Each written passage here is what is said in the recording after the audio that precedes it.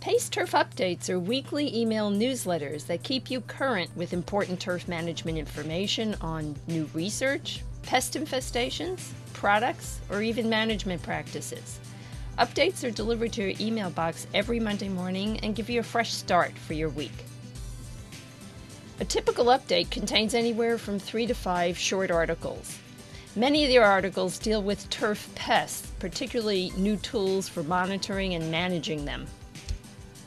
The photos in each article can be blown up to full size by clicking on them with your mouse. By clicking on highlighted text, you can get more in depth information on that specific topic. We summarize data from around the country so that readers can decide which products or practices will work best for them. Cultural practices also receive heavy emphasis in PACE TURF's updates, uh, as in this article on the topic of recycled water quality. Here we describe an innovative solution that PACE TURF member Kevin Hutchins developed in order to gain better control of his irrigation water quality.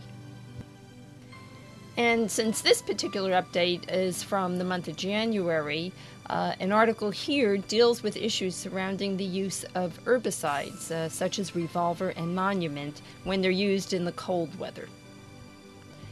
Whenever possible, we supply bottom line conclusions that give you specific information so you can take the scientific information we've given you in the updates and put them to use immediately in the field, like translating science into practice.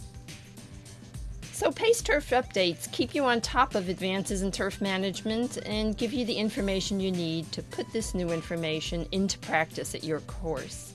They're just one of uh, many PACE Turf member services designed to get you the answers fast and hopefully to make your job easier.